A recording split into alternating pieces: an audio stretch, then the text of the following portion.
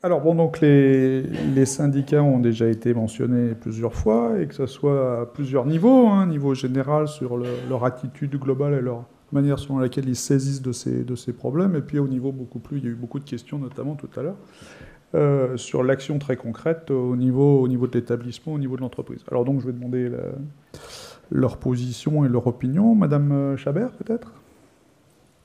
Merci. Oui, j'ai été présentée comme euh, membre de, l'activité Travail Santé de la Confédération Générale du Travail, ce qui est exact, mais je suis également euh, membre euh, de mon CHSCT, puisque je suis toujours salarié d'une grande multinationale d'origine américaine. Donc c'est peut-être à ce titre que je vais commencer mon intervention, puisqu'il y a eu dans la salle pas mal de, de camarades des CHSCT qui se sont exprimés. Donc, euh, pour moi, le, point, le pivot, je dirais, entre euh, les questions de sécurité industrielle et de risques psychosociaux, c'est euh, le travail bien fait. Donc, le travail bien fait, ça, ça, pose débat. Parce que je pense que la plupart des entreprises ont inscrit la sécurité comme une de leurs priorités et savent que ça passe par la santé des salariés. Euh, mais trop souvent, on, parle, on pense à la santé physique et pas assez euh, à la santé mentale. Parce qu'on euh, on s'aperçoit rapidement que, même avec peut-être de la bonne volonté, ces directions continuent à imposer aux salariés des méthodes de travail qui, au nom de la qualité, justement, se trouvent en contradiction avec ce que les salariés eux-mêmes entendent par travail bien fait. Donc euh, on, se trouve avec des systèmes, des méthodes de type Six Sigma, euh, Lean, etc., euh, qui bon, déjà génèrent de la productivité, mais qui aussi ont tendance à vouloir lisser, simplifier, rationaliser, ça a été dit tout à l'heure, le travail. Or, je ne parle pas de l'organisation du travail, simplifier le travail. Or, travailler, c'est tout sauf simple, et je dirais que c'est tant mieux. Euh, puisque c'est dans cette complexité que euh, trouvent euh, les salariés la possibilité d'exprimer leur créativité et, de s'épanouir. Donc on a un conflit, on a un gros malentendu déjà sur ce que c'est que, que, la qualité du travail, le travail bien fait. Ce n'est pas forcément la même chose du point de vue des salariés. La belle ouvrage, euh, dont il est question souvent dans, certaines recherches, euh, ça passe pas forcément par les politiques de qualité totale. Et pire encore, je dirais que les salariés qui sont chargés de faire appliquer ces politiques euh, sont euh, rapidement considérés comme des ennemis par certains autres salariés, comme des empêcheurs de bien travailler. Donc voilà, c'est déjà une première contradiction, un premier malentendu. Euh, ensuite, je voudrais dire que dans mon CHSCT, ça fait une dizaine d'années qu'on travaille sur les risques psychosociaux. Et on a fait, donc, on a mené diverses expertises, enquêtes, entretiens. On a été très, très impressionnés par le haut niveau de conscience professionnelle qu'on a rencontré parmi les collègues. Et euh, on aurait pu croire, nous, euh, que, en tant que syndicalistes, que le premier facteur qui allait se présenter, c'était la surcharge de travail. Or, on a compris que rapidement que oui, la surcharge de travail, mais euh, du fait qu'elle les empêchait de bien travailler. Donc ce n'était pas la fatigue, les horaires, bien que ça soit aussi un facteur important, mais euh, les sous-effectifs, tout ça, ça les empêchait de bien travailler. Donc euh, on a compris que c'était quelque chose de fondamental et donc ce malentendu persiste malheureusement. donc en fait aussi, il y a eu des questions qui sont venues sur comment se faire entendre. Je dirais que pendant les premières années, on s'est un petit peu fait balader parce qu'on tournait en rond et qu'on restait au niveau de la prévention secondaire qui a été euh, évoquée euh, très clairement par M. Brun tout à l'heure. Donc euh, ce qu'on a compris au bout d'un certain temps, c'est qu'il était important de sortir dans notre approche, nous en tant que membres de CHSCT, de la démarche souffrance au travail et la démarche compassionnelle. Parce que si on restait dans cette démarche-là, on donnait les moyens à la direction de se contenter de mesures de bien-être au travail, c'est-à-dire des mesures qui n'ont rien à voir avec le travail lui-même, mais sauf qu'elles sont sur le lieu de travail, c'est-à-dire des accompagnements divers, des relaxations, des, gestions du stress, euh, bon, tout ce qui a été très bien, très clairement euh, montré tout à l'heure comme ne résolvant absolument pas les problèmes. Donc nous, on s'est inscrit, et ça c'est aussi euh, la démarche de la Confédération générale du travail, globale, dans une approche des, du travail comme étant un outil de construction de la santé et dont il fallait restaurer cette dimension quand elle était dégradée, et non pas comme quelque chose qui fatalement allait faire souffrir et comment réduire cette souffrance. À partir de là, on s'est inscrit dans une démarche qui n'était plus simplement bien-être au travail, mais bien-être par le travail.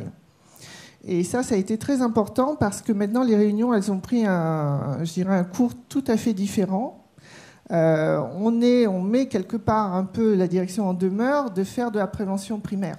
On ne peut plus nous répondre uniquement euh, et bon chez nous, euh, pour reprendre aussi une question qui a été évoquée tout à l'heure. on n'a pas signé l'accord sur le stress parce qu'il s'est arrêté au niveau du diagnostic et que les solutions, les actions proposées ont tourné autour de mesures de prévention secondaire et aussi du repérage des fragilités des salariés. Donc ça, c'est une aberration parce que euh, ce n'est pas les fragilités qu'il faut chercher. Hein. Ce qu'il faut soigner, ce n'est pas les gens, c'est le travail. Et comme il a été dit euh, bien mieux que moi auparavant, euh, ce n'est pas les plus fragiles qui, qui claquent, c'est les plus impliqués, justement. Donc voilà. Euh, bon, je ne veux pas faire beaucoup plus long. Je pense que je passe la parole à mon collègue, Monsieur Forest. C'est ça? Bon, Écoutez, je pense que le débat euh, permettra d'affiner. Très bien, merci. On pourra effectivement y revenir. Donc, Monsieur Forest? Oui, alors c'est pas facile, je passe le dernier, et en plus il y a beaucoup de choses. Pas tout à fait, pas tout à fait.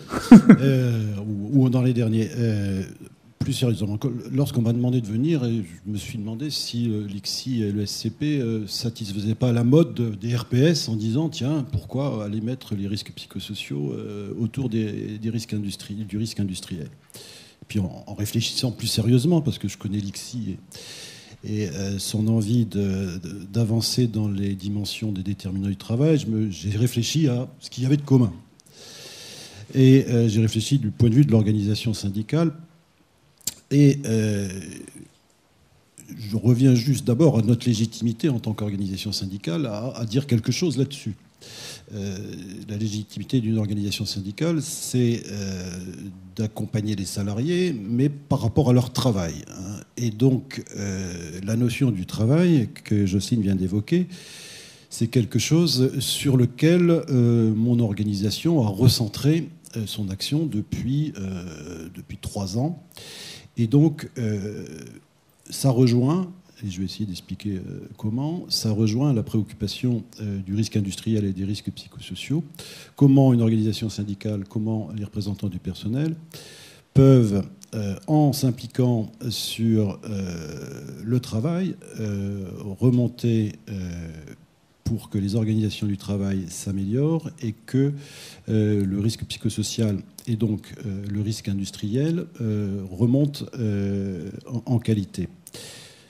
Il y a trois choses sur lesquelles nous, travaillons et qui sont en interférence ou en croisement avec le risque industriel. Ça a été dit, mais je vais le redire à ma manière. c'est les possibilités de s'exprimer des salariés sur ce qu'ils font. Et donc notre boulot d'organisation syndicale, c'est pas de parler à la place des salariés, c'est euh, de faire en sorte euh, que euh, ces espaces d'expression existent dans les entreprises et que, au sein de ces espaces d'expression, la parole du salarié soit libre, ne soit pas détournée et puisse produire un effet positif par rapport à l'organisation du travail. Vous allez me dire, en 82, il y a une belle loi qui s'appelle la loi Roux qui a mis en, qui a euh, mis en place le droit d'expression des salariés. Eh bien oui, pourquoi ça n'a pas marché?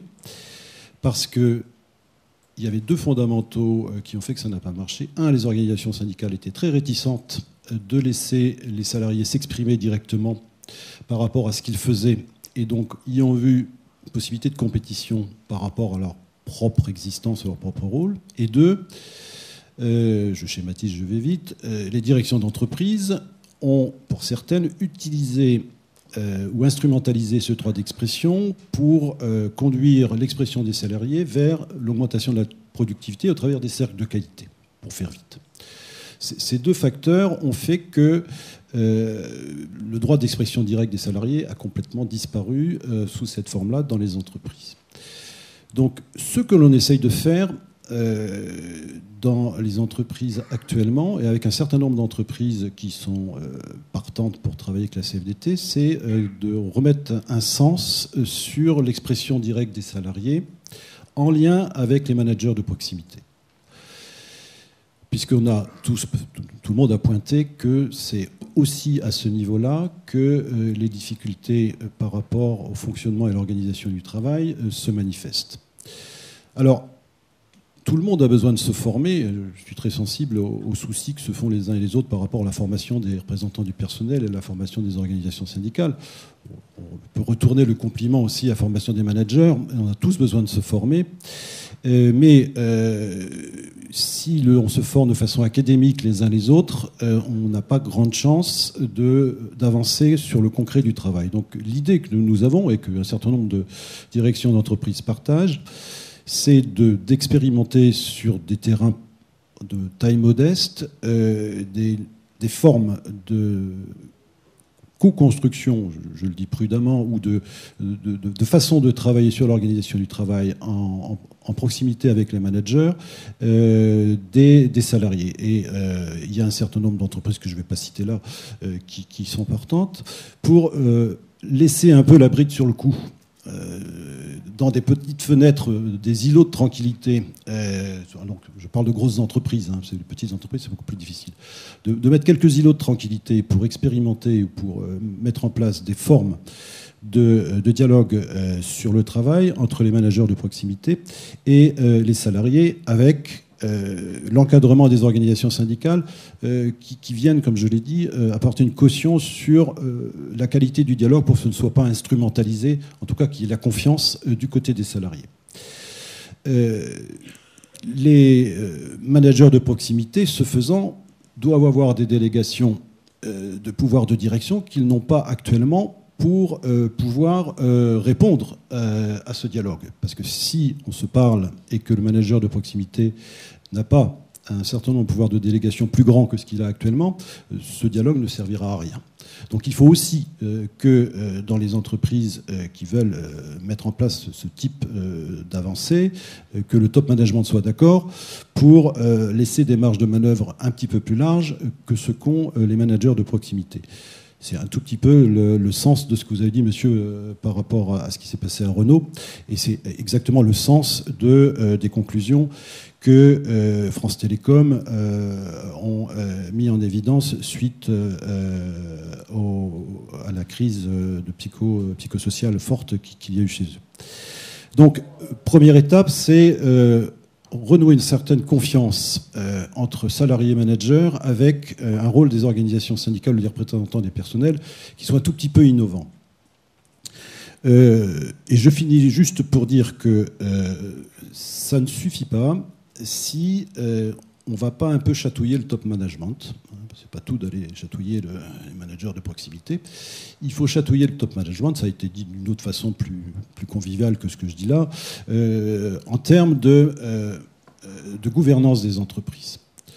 Alors, il faut, j'ai bien nommé le, terme d'empreinte humaine. Nous, on, parle de valeur hein, pour prendre en compte l'humain. Donc ça, ça, revient un petit peu euh, à la même chose c'est que dans la génération de valeur de l'entreprise, il n'y ait pas que la valeur monétaire qui soit euh, le moteur, il faut aussi que euh, la valeur humaine soit un des axes qui motive le top management. Et alors on peut dire que c'est irréaliste et que ça n'est pas encore dans les mœurs, mais on peut penser quand même que par rapport à ce qui s'est passé en France ou dans d'autres pays, il y a un certain nombre de grands dirigeants d'entreprise euh, qui commence à aller dans le sens de la prise en compte de l'humain par rapport aux grands choix stratégiques euh, qui sont pris dans ces entreprises. Et donc il faut euh, peut-être euh, inscrire dans le marbre, soit de la loi, soit au travers de la négociation collective, que les salaires des managers soient aussi mise en place à l'aune des performances euh, humaines qui sont dans les entreprises, et ça vaut pour la sécurité. Nous avions ce même discours, je me souviens, euh, au travers de la sécurité industrielle. Et il faut aussi que, au niveau des indicateurs qui sont produits dans les conseils d'administration alors ça vaut pour les très grandes entreprises, on élargisse les tableaux de bord à l'empreinte humaine, je reprends votre terme, hein, parce que c'est bien pratique, et puis vous l'avez bien expliqué, donc comme je veux dire la même chose, je, l'utilise, que ces indicateurs, alors qu'il faut mettre en place, soient aussi des indicateurs qui soient visibles, tant de la part des actionnaires que de la société civile. Donc si, euh, et j'en termine, si on arrive à prendre les deux bouts de la chaîne, c'est-à-dire au plus près du travail, euh, une, construction euh, qui essaye de rétablir une certaine confiance entre le manager de proximité, l'opérateur, le travailleur, avec une garantie de l'organisation syndicale, et de l'autre côté, au niveau du top management, un changement de paradigme par rapport, ou une évolution de paradigme par rapport à la valeur générée par l'entreprise, qui n'est pas simplement une, valeur euh, monétaire, on peut penser que l'on peut progresser comme on a progressé en termes d'idées, en tout cas, par rapport à l'empreinte environnementale. Et je m'aperçois que j'ai emprunté deux, termes à M. Brun, je m'en excuse. quel succès pour l'expression, pas seulement chez